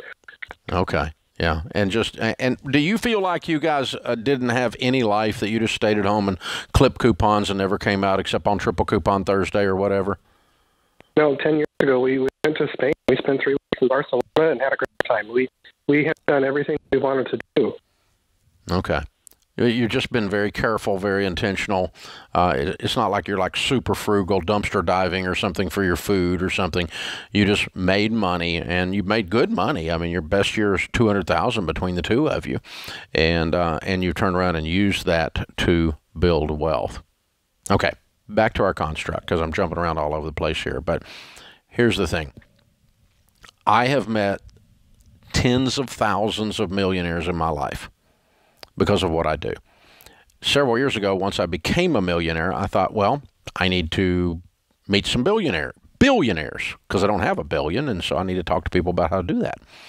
And I've now met, I think, 40 or 50 billionaires in my life. Um, I will tell you that out of those billionaires, and there's some strange cookies that are billionaires. Okay, that's a different. That's a different. That's a thousand million. Okay, so this is a millionaire times a thousand is a billionaire. And so it's a different world than than you know somebody with ten million dollar net worth. They're not even close to billion. It's a different world, different mindset, different everything.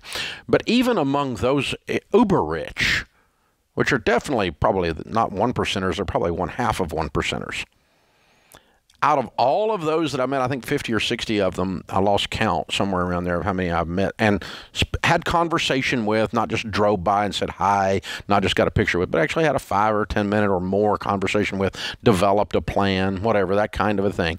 Out of those people, two of them are absolute tools, horrible people that I really, you have to take a shower after you meet them. But two out of any 60 people you meet, whether they have money or not, qualify for that. So it's not really any different. So this idea that uh, the only way to become wealthy is to be a crook or rip people off is ludicrous. Because by and large, the way people build wealth is they bring value to the marketplace. They're serving someone. They don't they don't just wait tables, they have a restaurant. Oh wait, they don't have one restaurant, they have 10. 10 restaurants doing a good job taking care of people feeding them, collecting money for feeding them, and they build a, a little miniature restaurant empire, you know? And, and, so that's what's going on. So the idea that they inherit their wealth, that that's where money comes from, nope. The idea that you have to be crooked to be wealthy, nope. This is all small time thinking by small time people that are jealous and envious. They're victims. You're not a victim. This is The Ramsey Show.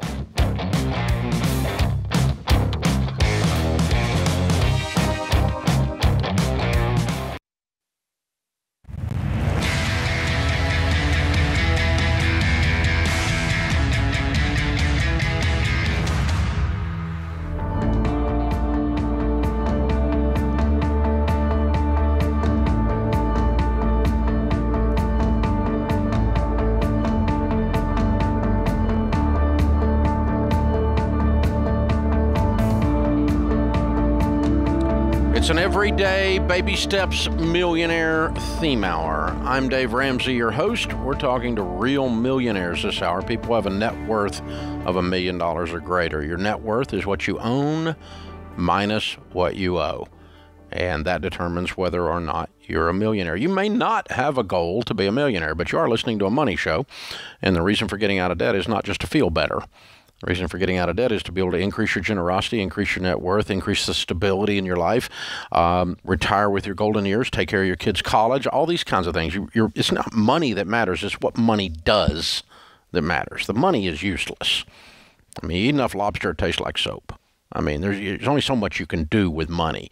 But what, it, what you use it for is why people choose to acquire money. Now, how do you get to a million dollars? The fastest way I know is following the baby steps. Um, and it is the most sure probability. Let's talk to some real millionaires. Amy is in Dallas. Hi, Amy. How are you? I'm great, Mr. Ramsey. How are you? Better than I deserve. What is your net worth? uh, 1.8 million. Okay, cool. Break that down for me by category a little bit. Um, I'd say um, 750k is about you know 401ks, Roth IRAs. Mm-hmm. Um, 700k is in stock, other stocks and mutual funds, um, house, and then um, cash as well. Okay, that's uh, so you got about 250 in cash. Uh, so uh, stocks is about 700k, and then house is about 400k, and then plus other cash, and then plus the 750 from the 401ks and Roth IRA. Gotcha. How old are you? Um, I'm 32, and my husband's 31. Wow, you did this really fast. Congratulations. How much of this 1.8 million did you inherit? Uh, none on my side. I think my husband got like 15,000 before we got married, but obviously that's not indicative of why we have what we have. Right, for sure. Okay, what's your best year of working household income and your worst year of working household income? So we got married about three years out of college. So our best together was about 120k, or sorry, worst together was about 120k. Our best um, was probably last year at about 320k, but that's we got a couple big bonuses. That's not the average. okay, cool. What do y'all do for a living? Uh, surprise, surprise, we're both engineers. okay. well, you fit the model. Oh my gosh! And obviously, you have engineering degrees. What were your GPAs? We do. Uh, mine was 3.3. My husband's was 3.1. But that Ah. that's not indicative that I'm smarter than him, though. Ah, I don't know. I'm I'm going with that. I'm going with that narrative. I'm just saying. All right. So this is an impressive number in a very short period of time.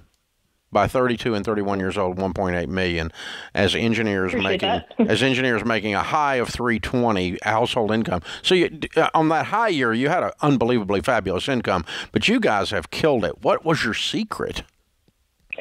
Um, I mean, if I could be honest, I would say it's it's four things. One, I'm going to give my parents a shout out. It's listen to them. They've been around the block. um, so my dad, you know, he sat me down as soon as I got out of college and said, "Hey, don't get enticed by the shiny object. You're going to be making a lot more than you made previously. Set a budget and live by it." And I did. And then number two, uh, treat it as not your money, but it's a gift from God that you're just stewards of. You know, so it's never yours, it's his, and he's trusting you to be a good steward for it. And then three, same page as your spouse. You know, my husband and I have never had a disagreement about money ever.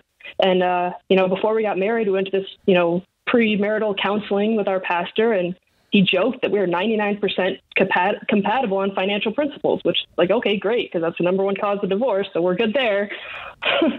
and then um, the fourth one is live below your means. We've never lived on any more than 60% of our income, and we've never changed our lifestyle. So, And by the way, Anytime you 60% of your bonus- income is pretty dadgum sweet. yeah, fair enough, fair enough. Yeah, I mean, Um, you, it's not like it's not like you you're you're living, you know, in, in somebody's basement or something. I mean, you guys are killing Agreed. it. This is so well done. I'm so proud of y'all. This is excellent. Uh, appreciate it. Absolute heroes. Okay, so you just gave us the formula: live on less than you make, uh, be on the same page with your spouse, uh, keep the nobility factor going, knowing that you're a steward. You're just an uh, you're not an owner. You're a manager for God, and uh, just use some common sense and you know you- don't be a bass because bass get caught by shiny objects. Yeah, I mean, we've never changed our lifestyle. I mean, I think I, I, I remember you guys asking, "What's your most expensive pair of jeans?" Mm-hmm. I think you've asked that before. Yeah. Man, I think mine's like thirty bucks, and it's not even the amount of money I spend on jeans, but I think it's the amount of money we spend on clothes per year. I think our budget for the year is one hundred fifty dollars on clothes per year. So you're not you're not clo- you're not clothing motivated. What are you motivated by? What is what is your thing? What is your what is your guilty pleasure you do spend money on? If I could, I don't, I don't, I don't even know. How, I guess it's kind of weird. I don't even know how to answer that because I think my guilty pleasure is giving to others. Like I mm-hmm. love it. Mm-hmm. so like, like if a family member calls me and says, "Hey, Amy, I need your help with this," in a heartbeat. Yeah. you know it, so and i love doing that and i think my husband teases me all the time because i won't get expensive things for myself which he loves because then he starts you know hey anniversary i'll get her this christmas i'll get her this Yeah. i won't i won't get it for myself but uh yeah i, I think that's that's I Well, mean, you okay, guys Dave, are- I'll, I'll, I'll give you one thing. We splurged on a vehicle. Okay. But it was the best thing ever when we could uh, pay cash. Yeah. Yeah. I, I, I So what what is what one is the what's, what what was the splurge vehicle? What was it? It was a, a Yukon XL recently. Okay, recently, and you've got a 1.8 million dollar net worth. Yes. You, uh, you're not broke with six student loans and four car payments and a Mastercard hanging around your neck, and then you go get a new Yukon and go, I deserve it. You didn't do that. You got a first. You went and got a 1.8 million dollar net worth by the time you're 32. You guys are amazing. I'm honored to talk to you. Very cool. Carol, how are you? What's your net worth? I'm good, Dave. Great speaking to you. My net worth is 2.2 million. Good for you. Give me a little breakdown on that by category. Uh, 245,000 in real estate, 100,000 in cash, and the rest is 401k and IRA. Wow, big 401k. Okay, killing it. How old are you? I am 61. Okay, cool.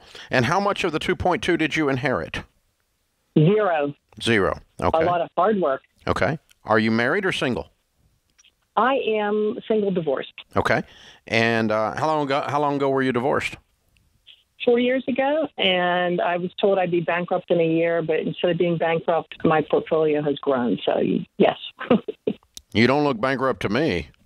No, I'm not. Yeah. And that money that that um 2.2 does not even include my daughter's 529 plan, which is about 100,000. Wow, way to go. So, what has uh, been your average income over the years? Um, when I first started out contributing to my 401k, it was about 45,000, and now I'm up to about 130. What do you do? I am a risk analyst. A risk analyst. Okay, Risk that analyst, makes sense. All right. And uh, what's your degree in? I have an associate's degree in business administration. Wow. And what was your uh, GPA during that time? Well, let me see. It was a while ago, but I was about 3.9. Okay. I went as an adult, so I Yeah. was a little more focused than as a teenager. So Gotcha. Okay. What's your advice to the younger version of you that's listening to be able to have 2.2 million at 61, four years after a divorce? I would say slow and steady, absolutely. Um, take advantage of every program your employer has to offer. If they have a 6% match in the 401k, you put your 6% in. And live below your means. I know I hear that a lot on your show, and absolutely, we live below our means. So Well done, Carol. Proud of you. Excellent job. Oh, by the way, we usually don't talk to people that are savants either. The average GPA is around three. Mine was 2.97, and I'm still pissed off about that three one hundredths of a point.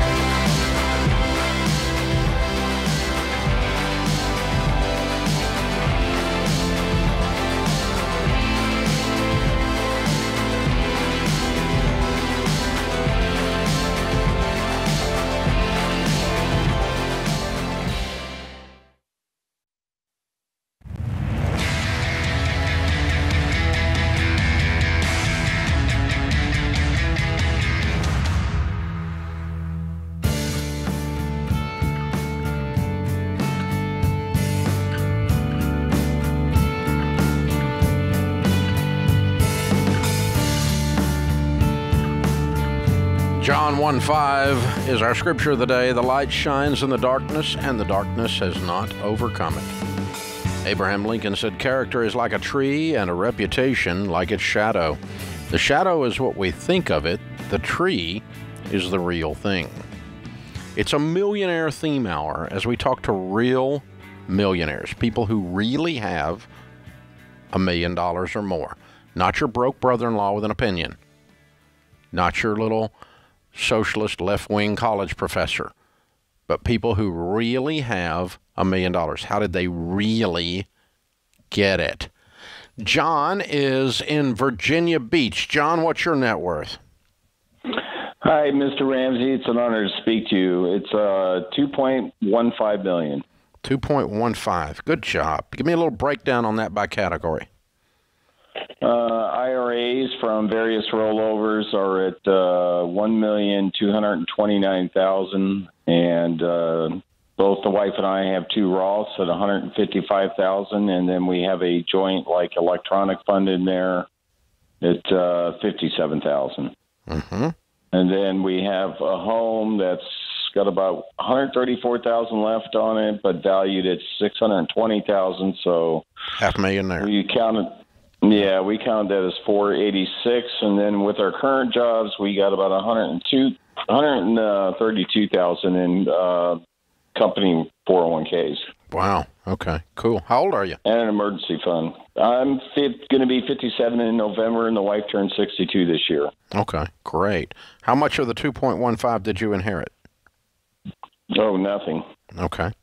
And um, they always sound surprised, like, um, nothing, of course. I mean, like, okay. No, so, nothing. so, what's your uh, best, uh, your best working year uh, household income and your worst working year household income? All right. Well, in the 80s, we were married in 86. So combined together, I would say we were maybe at 50,000 a year. And peak earnings were early 2000, say 2005, 2006, before she semi retired. And we were probably at 170,000. Okay, cool. What do you What do you do for a living? I'm a SATCOM engineer. Okay. Okay. So cool. Work with the military. Gotcha. And what about your wife? What did she do? She is semi-retired, but she worked her way up from a part-time cashier job to being a district manager for a major, major fast food company. Okay. All right. Very cool. Yep. What's your degree in? We're dinosaurs, Dave. My wife had one semester, and that's it, with a college um, diploma, and I had a, or not a college diploma, high school diploma. I had a high school diploma, and uh, I did a bunch of different, uh, you know, techie courses because I grew up with the technology. Yeah. Not like the kids, you know, I had to grow into it. So um, I may have enough matriculated credits for an associate's, but I have. They told me to graduate at age 40 that I would need, uh, I don't know, math, English, and philosophy. And basically, at that time, I was already making good money, and I said, screw it. It's So, against, it's against your philosophy, yeah. yeah. I love it. So, what's your I mean, advice to the uh, what's your advice to the 24 year old version of you that's listening out there? Do you think they can still do it today? And if they can, what should they do? Oh, absolutely. Definitely start in your 20s. We got started late. You know, we were on credit go, uh, credit card merry-go-round for years until we finally got tired of it. But uh, yeah, start early, invest early, and you know, live below your means and pay for everything in cash. Save up and pay for cash, except for you know, obviously the house is a big ticket item, but I mean, it can be done. Yeah. So you didn't take any huge risks. You just got out of debt, lived on a budget, and invested. Oh, absolutely. Yes, we have. We've had an investor for the last decade now that helps us, a fiduciary investment firm. Gotcha. So Very cool. yeah. Well, hey, man, way to go, John. We appreciate you sharing with us. Congratulations, you did it. So, the 10,167 millionaires that we studied, here's what we found. I've already told you 89% of them did not become millionaires because of inheritance. 79%, that's 8 out of 10, By the way, when you're doing statistics and you have something that's 79%, that is a significant freaking number. That that establishes like a principle. It's not just like, oh, 52.4%, and we're not sure we've got all the votes we need to actually make him president. You know, I mean, it's not that. This is not this is not hairline stuff here. 79% is like everyone. Okay? When you hear a number like that in a piece of research, it's it's statistically devastating. 79% of, a mil- of millionaires did not attend prestigious private schools. Turns out where you go to school don't matter. Help you with that, except for the grammar when you're doing talk radio. But which it turns out you can have bad grammar and still succeed. 62% graduated from public state schools, 8% attended community college, 9% are high school graduates like our last caller. 68% of millionaires, that's statistically significant, use a financial advisor to help them on their journey. 73% of millionaires never had a penny of credit card debt. Seven out of 10 never had student loans. By the way, half the population has had a student loan. But seven out of 10 millionaires didn't. Top three jobs, I already told you engineer, accountant, and teacher. 96% enjoyed what they did for a career. I hate my job is not something millionaires say very often. I hate the place I work is not something millionaires say very often. If they feel that way, they leave. That's kind of like integrity and stuff. One third of millionaires never had a six figure household income, not even one year. 33% became millionaires without ever making a $100,000 household income. That one kind of blows my mind. I mean, you it does help to earn more money. No kidding, you know? Wow. The average millionaire lives in a 2,600 square foot house that they have lived in for 17 years. The average millionaire paid off their home in 11 years. The average millionaire in the Ramsey tribe that we did some separate research on pays off their home in a little under 10 years. 94% say they live on less than they make. 93% use coupons. Most of them hit millionaire status right around age 49. 97% of millionaires believe they control their own destiny. 62% of the public believes that. Belief matters. That's why we do this show. 70% say they set some of their income aside for generosity every single month. So, turns out there's a formula to building wealth that is highly predictable. Invest in your 401k steadily, like baby step 4, 15% of your income going into retirement, after you've gotten out of debt and have an emergency fund in place, and then work to pay your house off.